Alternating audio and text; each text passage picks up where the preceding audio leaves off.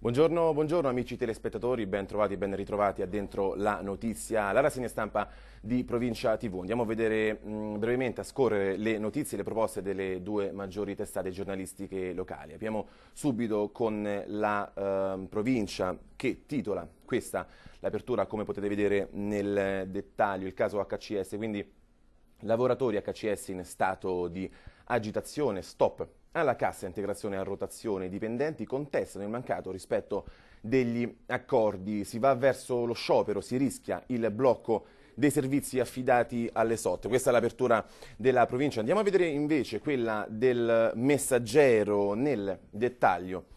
Questo è il titolo, HCS, operai sul piede di guerra, sospesa la cassa integrazione per protesta contro l'ipotesi di vendita della holding d'intesa con i sindacati, rotto anche l'accordo firmato con il Pincio a dicembre. Ecco quindi un tema molto importante proprio quello di HCS, ma eh, se mi confermano dalla regia noi dovremmo appunto avere un servizio proprio sul tema HCS. Disdetti gli accordi presi in regione, quindi niente più cassa integrazione per i dipendenti di HCS delle partecipate per dire un fermo no alla vendita della, della holding. Ma eh, innanzitutto eh, la presa di posizione di tutti i sindacati riuniti, quindi ehm, tengo a ribadirlo, questo è un documento unitario di tutte le sigle sindacali, è, so, è dato soprattutto del fatto che sono stati disattesi tutti gli accordi che l'amministrazione comunale a partire dal 13 dicembre del 2012 aveva sottoscritto con le parti sociali.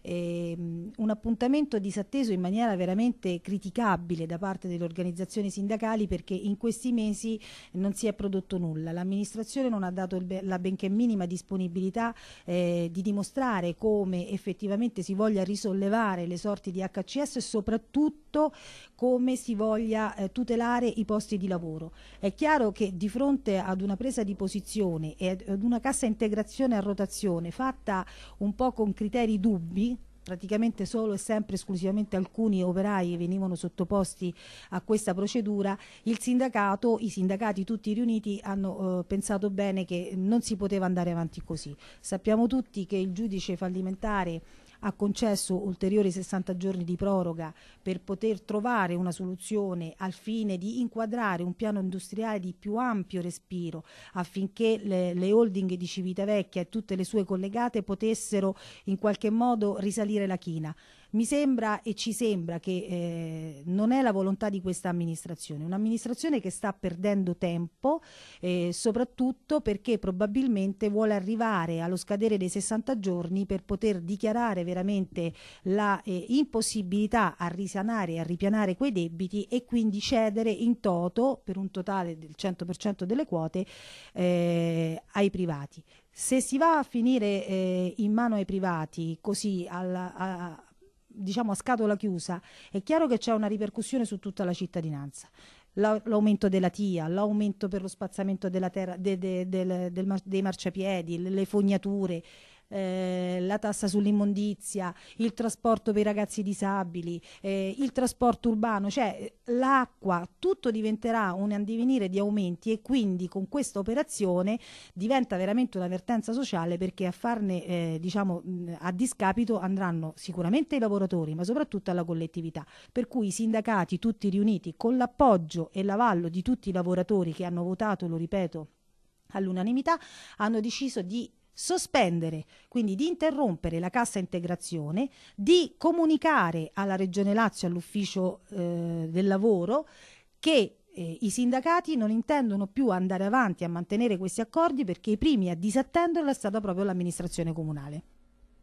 Eccoci tornati in studio, continuiamo la nostra rassegna stampa, passiamo ovviamente alla politica, questa l'apertura della provincia. Andiamo a vedere nel dettaglio. Galletta e Giannini. Abbiamo sempre chiesto il rinnovamento. Toni Aspri nel PD, Longarini, affermazioni ingenerose. Questa è eh, appunto la proposta della provincia. Andiamo a vedere invece il messaggero nel eh, dettaglio, appunto sulla destra.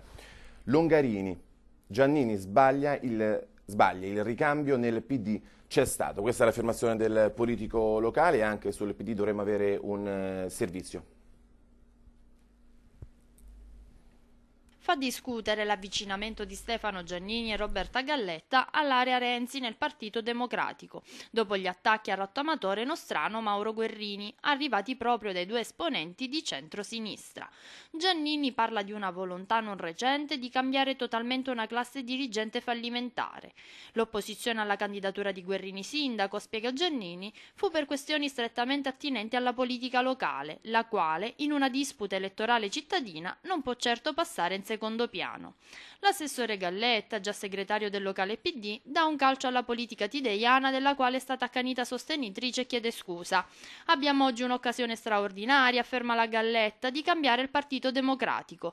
Mi assumo tutta la responsabilità di non aver dato quel colpo di reni prima delle elezioni, sia primarie che politiche regionali, semplicemente perché ho sbagliato. Lo ammetto, non ho avuto il tempismo di cogliere al volo la grande occasione di rinnovamento del PD che si era da tempo manifestata con il sindaco di Firenze Matteo Renzi.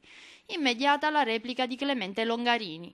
È in corso un dibattito sull'esito del voto nell'organismo dirigente, fa notare, nel quale poter trasferire le idee per ora trasmesse soltanto a mezzo stampa. La rappresentazione fornita da Giannini appare ingenerosa e strumentale e si scatena la polemica. Ironico ad esempio l'intervento di Stefano Palmeri, che parla fra l'altro di due soggetti che nella vecchia metodologia politica e con i vecchi personaggi politici ci andavano a braccetto, ottenendo anche parecchi vantaggi. Eccoci, passiamo alla cronaca. Apriamo la pagina, siamo ovviamente al quotidiano La Provincia che titola in questo modo Tre anni e otto mesi all'orco di Tarquinia, condannato il pedofilo arrestato dai carabinieri lo scorso giugno dopo le numerose segnalazioni arrivate in caserma. Tanti i sospetti dei cittadini etruschi, poi le indagini dei militari hanno permesso di accertare i fatti, ma sentiamo nel dettaglio il servizio.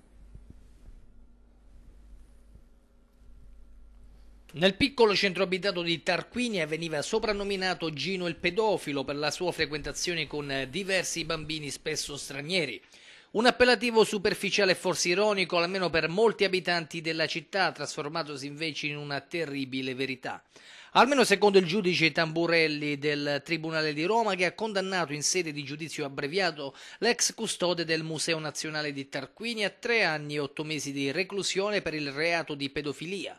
Per il 66enne, abile sue iniziali, anche l'interdizione dai pubblici uffici e ambiti scolastici per cinque anni. Ma non solo, nei confronti di una delle parti offese, costituitesi parte civile, assistita dagli avvocati Paolo Pirani e Giuseppina Sparapani, l'orco di Tarquinia deve corrispondere come provvisionale immediatamente esecutiva ben 20.000 euro, oltre alle spese legali e al risarcimento del danno che verrà stabilito in separato giudizio. Intanto in città molte famiglie tirano un sospiro di sollievo